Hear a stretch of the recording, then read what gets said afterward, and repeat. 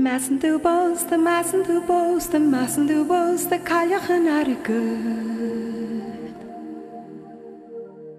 4.9 billion euro of potential tax revenue against the fears about possible contamination of the water supply. We're looking at an area that we concentrate on in the north part of Leitrim uh, and South Fermanagh and the very western edge of Cavan. I'm telling you, they're using you. You hear the plan. They're going to they're going to junk your country up. They are using you and you are going to be the suckers on the end of the line here. A politician somewhere talked about Leitrim that we needed to have sacrifice zones. This is going on in 15 countries right now. Uh, the United States alone this year, there'll be 15,000 horizontal, multi stage fractured wells drilled for gas. So they're coming in now. They're, they're, so there must be a frack going on oh, somewhere. Yeah, it's being fracked right now. Yeah.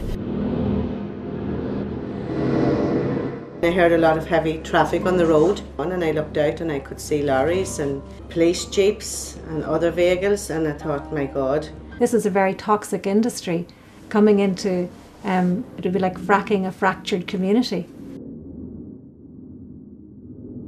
We know when crunch comes to it, who's going to stand on that road in Leitrim and stop them physically? Who's going to do it? The top table aren't, are they not? What scared me the most about Corrib was I thought that that was going to happen to us.